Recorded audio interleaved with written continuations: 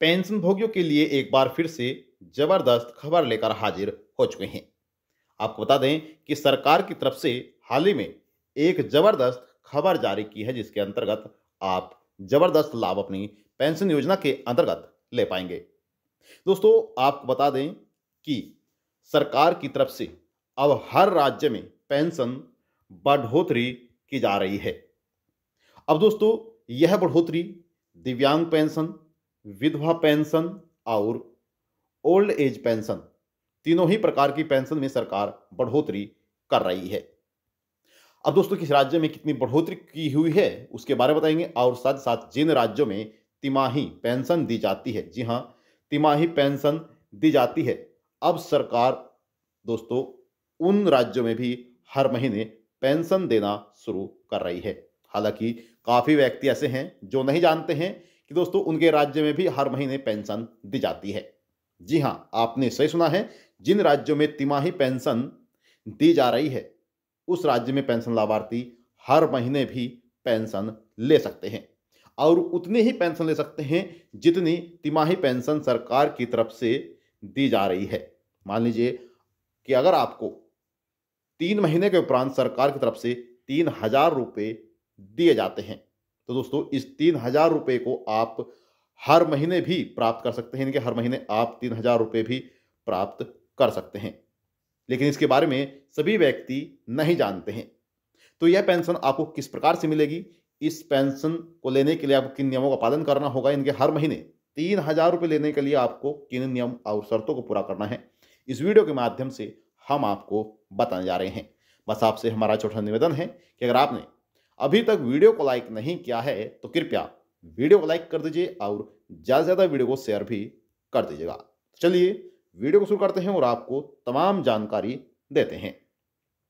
तो देखिए, प्रदेश सरकार की तरफ़ से जारी की गई बड़े अपडेट में यह बड़ा फैसला लिया गया है। परंतु आपको ज़रूर जान लेना चाहिए कि सरकार जो तीन हज़ार रुपये तिमाही दिव्यांगों को दे रही है सरकार उनके अकाउंट में भेज रही है। तो दोस्तों, अब सरकार की तरफ़ से आप हर महीने भी पेंशन ले सकते हैं। हालाँकि काफ़ी दिनों से यह योजना चलाई हुई है, जिसके अंतर्गत पेंशन लाभार्थी हर महीने तीन हज़ार रुपये पेंशन ले सकते हैं। और दोस्तों, इसमें आपको अपनी जेब से एक भी रुपया देने की आवश्यकता नहीं पड़ेगी। जब आप आवेदन करेंगे तो कुछ दिनों बाद आपके अकाउंट में पेंशन आना शुरू हो जाएगी।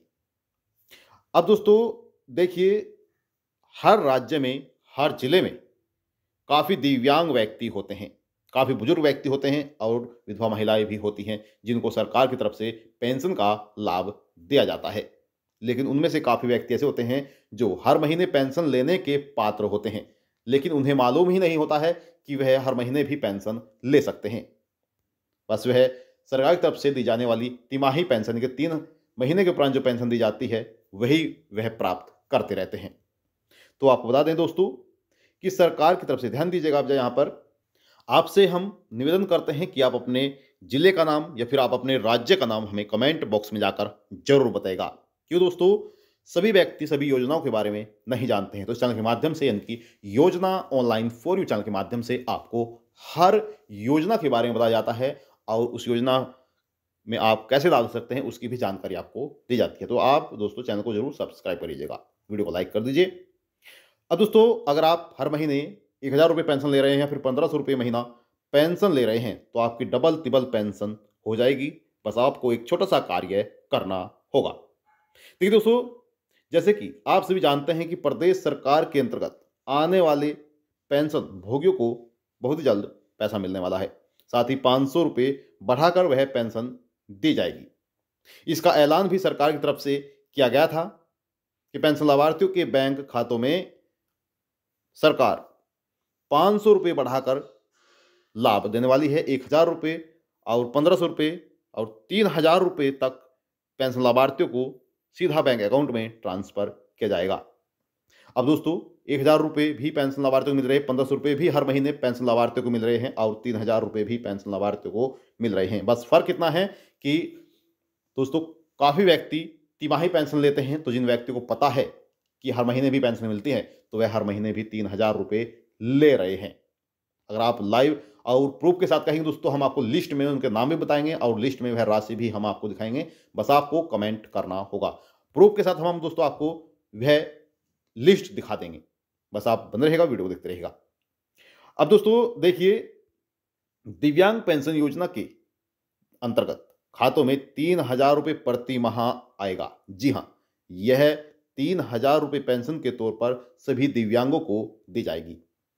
तो जो तिमाही पेंशन व्यक्ति लेते हैं, दिव्यांग व्यक्ति जो लेते हैं तिमाही पेंशन, अब वह दोस्तों हर महीने भी पेंशन ले सकते हैं और तीन हज़ार रुपये ही पेंशन सरकार की तरफ़ से ले सकते हैं।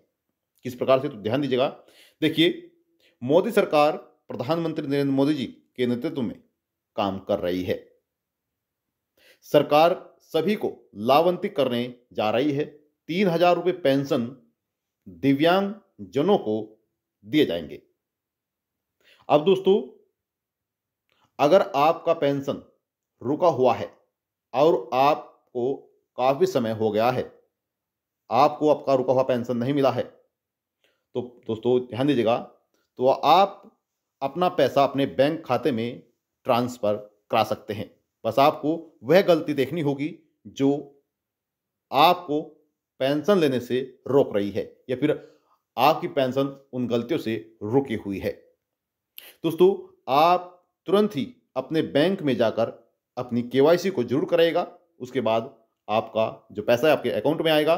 देखिए, बैंक में जाकर आधार कार्ड और पैन कार्ड, मोबाइल नंबर जमा आपको कर देने हैं, जिससे कि आपकी रुकी हुई पेंशन भी आप तक पहुँच जाएगी अब बात करते हैं कि तिमाही पेंशन जो आपको मिल रही है वह हर महीने आप कैसे ले सकते हैं? तो ध्यान दीजिएगा, देखिए आपको बता दें कि बैंक खाते में केवाईसी नहीं अगर व्यक्ति की होती है तो उन्हें न तो तिमाही पेंशन मिलेगी और न ही हर महीने पेंशन मिल पाएगी। इसलिए उन्हें यह कार्य कराना बहुत ही ज़रूरी है। दोस्तों, इसलिए पेंशन लाभार्थियों को बड़ी परेशानियों का सामना करना पड़ रहा है। अब दोस्तों, जो सरकार की तरफ़ से आप हर महीने पेंशन लेना चाहते हैं यह स्कीम केवल और केवल उत्तर प्रदेश की दिव्यांग पेंशन लाभार्थियों के लिए है। जी हाँ आपने सही सुना है, क्योंकि दिव्यांग व्यक्ति भी दोस्तों हर तिमाही पेंशन ले रहे हैं, हर महीने के अनुसार एक हज़ार रुपये पेंशन और तिमाही पेंशन तीन हज़ार रुपये पेंशन ले रहे हैं। लेकिन अगर वह छोटा सा कार्य करते हैं तो वह हर महीने भी पेंशन ले सकते हैं। अब किस प्रकार से पेंशन का लाभ मिलेगा, उसके बारे में भी आप यहाँ पर जान लीजिए। देखिए, सरकार की तरफ़ से वर्धावस्था पेंशन दिव्यांग पेंशन और दोस्तों, विधवा पेंशन को शुरू किया गया है। आप सभी जानते हैं। लेकिन आपको बताना चाहेंगे कि सरकार की तरफ़ से एक चौथी पेंशन भी शुरू की गई है, जिसका नाम है कुष्ठ अवस्था पेंशन। जो व्यक्ति कुष्ठ रोग से ग्रस्त हैं, जो व्यक्ति कुष्ठ रोग से ग्रस्त हैं, वह कुष्ठ अवस्था पेंशन का लाभ ले सकते हैं। दोस्तों, सरकार की तरफ़ से कुष्ठ अवस्था पेंशन के अंतर्गत तीन हज़ार रुपये महीना पेंशन देते हैं। और साथ ही आपको बता दें कि इसमें दोस्तों, आपकी जो दिव्यांगता सर्टिफिकेट मांगा जाता है चालीस प्रतिशत का, वह भी इसमें नहीं चाहिए होगा। अगर आपकी दिव्यांगता एक प्रतिशत है, तब भी आप हर महीने तीन हज़ार रुपये पेंशन ले सकते हैं। अगर ज़ीरो प्रतिशत भी है दिव्यांगता आपकी, तब भी आप तीन हज़ार रुपये पेंशन ले सकते हैं। शायद आपको विश्वास नहीं हो रहा होगा तो दोस्तों, आपको क्या करना है? गूगल पर जाना है और वहाँ पर लिखना है कुष्ठ रोग आपको मालूम हो जाएगा कि कुष्ठ रोग किस प्रकार का होता है। अगर इस प्रकार का आपको रोग है या फिर किसी व्यक्ति को रोग है तो वह कुष्ठ अवस्था पेंशन के लिए अप्लाई कर सकते हैं। और दोस्तों, हर महीने तीन हज़ार रुपये वह अपने बैंक अकाउंट में ले सकते हैं। अगर आप इतना कार्य कर लेते हैं तो आपके अकाउंट में तीन हज़ार रुपये महीना आना शुरू हो जाएँगे।